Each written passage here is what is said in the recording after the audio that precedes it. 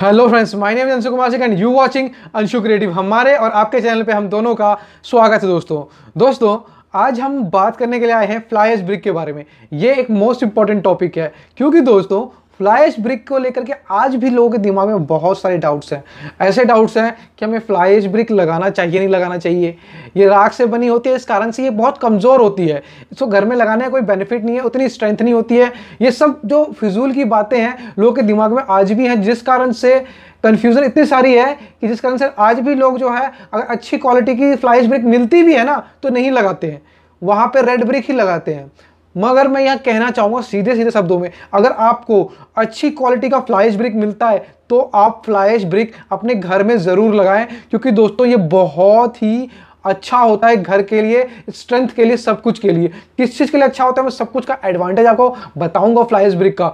लेकिन अब थोड़ा सा पहले हम रेड ब्रिक के बारे में बात कर लेते हैं यहाँ पे। रेड ब्रिक जो है हमारे ट्रेडिशनल ब्रिक है ब्रिक है, जो हमारे बहुत पहले चली आ रही है और हम वही ब्रिक को लगाते हैं। और एक्चुअली में रेड ब्रिक जो है सबसे ज़्यादा यूज़ होने वाला कंटेंट क्या है? वो है मिट्टी क्ले अब यहाँ पे बात क्या आ जाती है?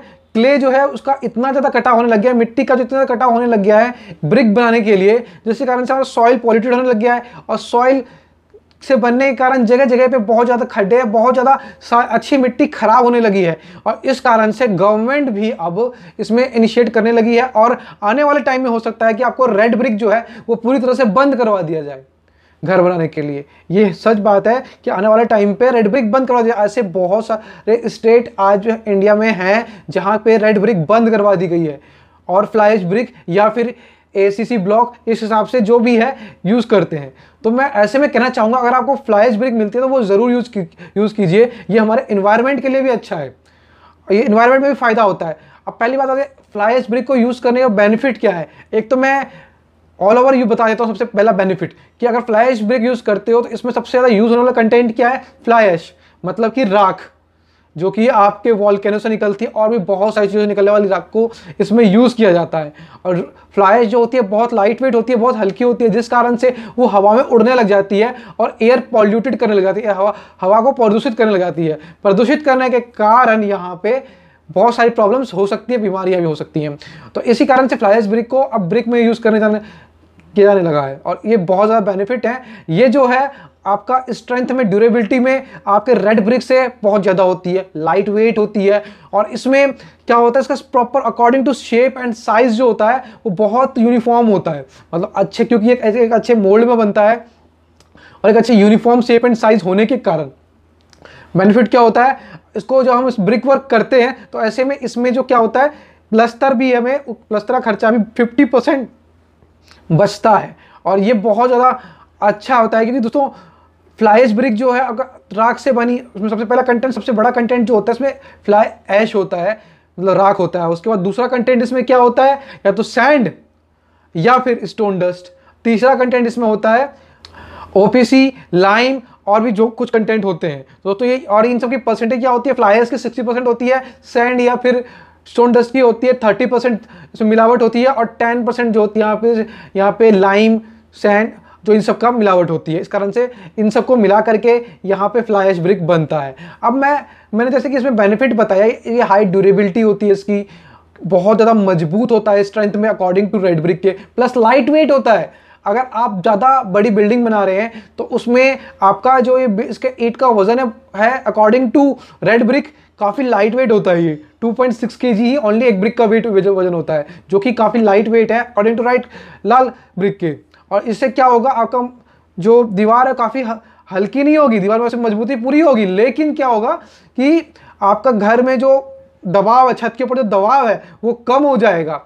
और जिस कारण से छत दबाव कम होने के कारण घर आपका बहुत लंबे टाइम तक टिका रहेगा। दबाव कम होगा तो आपके डीपीसी में, आपके फाउंडेशन में दबाव कम जाएगा, जिस कारण से घर बहुत लंबे टाइम तक अच्छा और खूबसूरत आपका बना रहेगा। प्लस फायर रेजिस्टेंट होता है फ्लाई ब्रिक फायर इंसुलेटेड होता है, क्योंकि और उसका फ़ायदा क्या होता है कि आपका बहुत ज़्यादा जब आग लग जाती है, बहुत ज़्यादा जब आग लग जाती है, तभी इसमें कोई फ़र्क पड़ता है।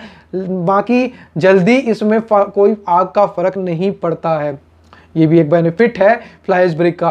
प्लस इसमें वाटर कंटेंट बहुत कम होने के कारण मतलब कि इसके जो, इसमें जो पानी का जो कंटेंट होता है, ये बहुत कम अपनी तरफ़ सोख पाता है।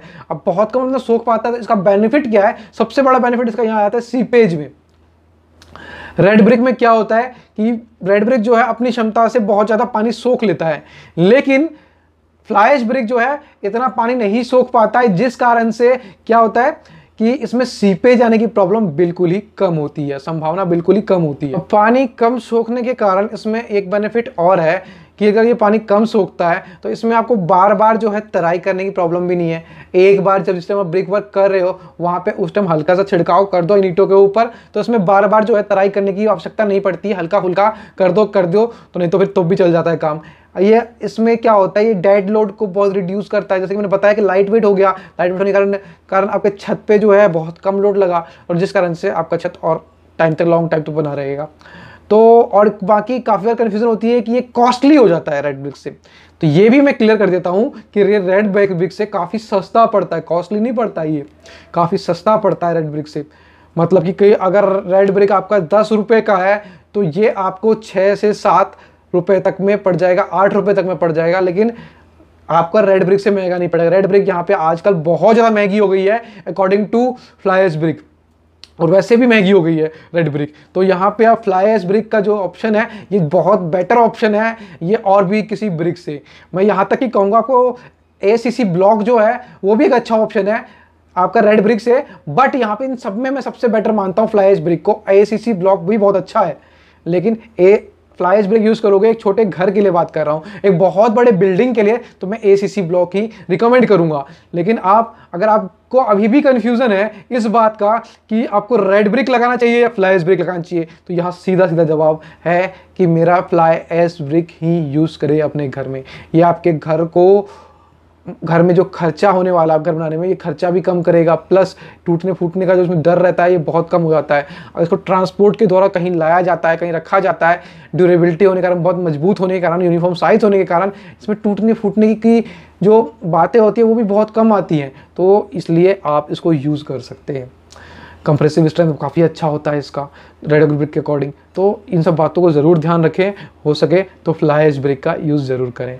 वीडियो करता हूँ समाप्त।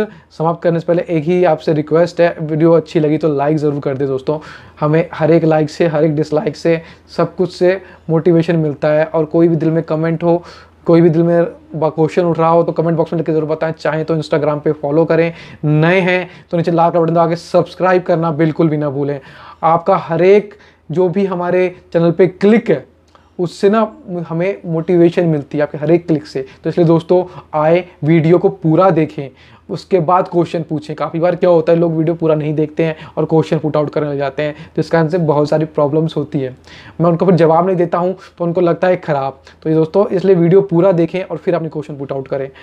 बाकी आपके दिल में कोई क्वेश्चन हो तो मुझे यहाँ कमेंट बॉक्स में लिख के पूछ सकते हैं। चाहे तो मुझे इंस्टाग्राम पे फॉलो करके, वहाँ पे भी कमेंट करके ज़रूर पूछें, मैं वहाँ पर भी जवाब आपको ज़रूर दूँगा।